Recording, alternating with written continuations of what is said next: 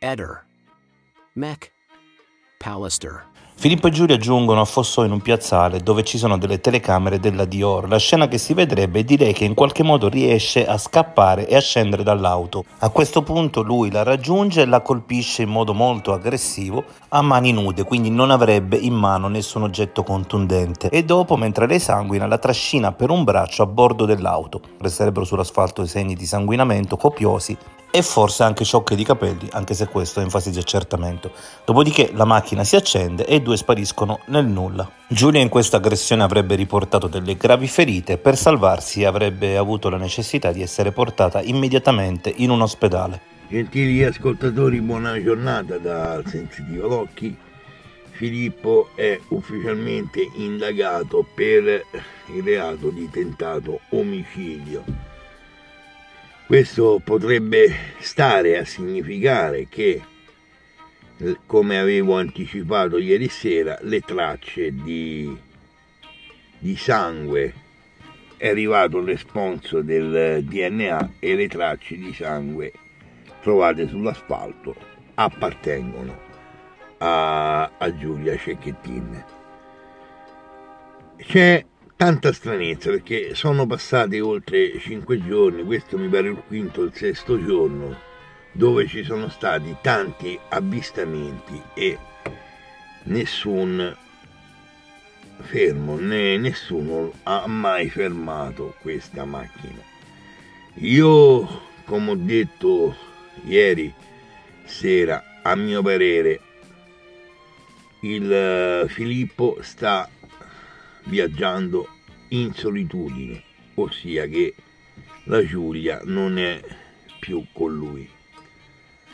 Ora qui sorge un problema abbastanza grande. Considerato che lo stesso Filippo ha occultato il corpo, è solamente lui a conoscenza dove questo corpo giace, il corpo di Giulia giace. E se lui dovesse togliersi la vita senza dire nulla, il corpo di Giulia diventerebbe un mistero. Poiché, considerato che a meno che non lasci una lettera indicando dove appunto ha occultato il suo corpo però tutte queste strade secondarie, tutti questi avvistamenti, tutte queste regioni che in questi cinque giorni lo stesso si è spostato, mi fanno pensare che questo losco personaggio non ha nessuna intenzione da far ritrovare il corpo e anche se venga preso come io spero, sicuramente può avvalersi della facoltà di non rispondere. Perché io già me ne occupai tantissimi anni fa di un caso analogo dove i morti in quella occasione a Gradoli erano due, mamma e figlia, il responsabile è stato arrestato, condannato in tutti e tre i gradi di giudizio alla pena dell'ergastolo, però i corpi di mamma e figlia non sono stati mai più ritrovati. Ma io credo che contestualmente all'accusa di tentato omicidio io penso che la procura della Repubblica di Venezia abbia anche disposto un decreto di fermo nei confronti di Filippo. Però, signori, sono passati cinque giorni. Questa macchina è stata notata in, diverse, in diversi luoghi, però attualmente non è mai stato fermato, non è mai stata fermata.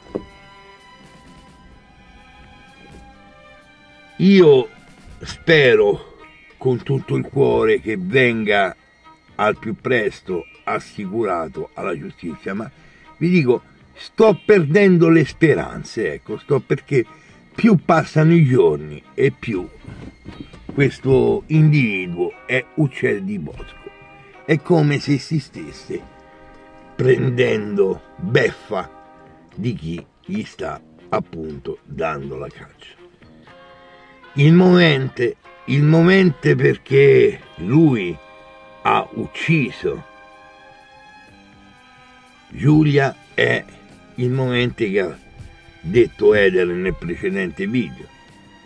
L'ultimo diniego di Giulia l'ha portata alla morte.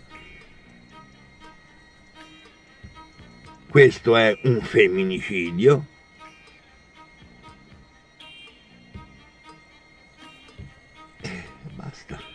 È un femminicidio.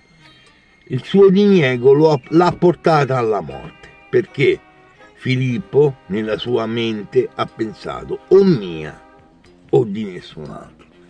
Questo è in sintesi quello che io ritengo che sia successo. E di fatti, fino ad oggi, ritengo che mi stiano dando ancora una volta ragione. Di nuovo amici un buon proseguimento di giornata a voi tutti da Sensitiva Locchi di Civitavecchia. Ehi, non dimenticare di iscriverti a questo canale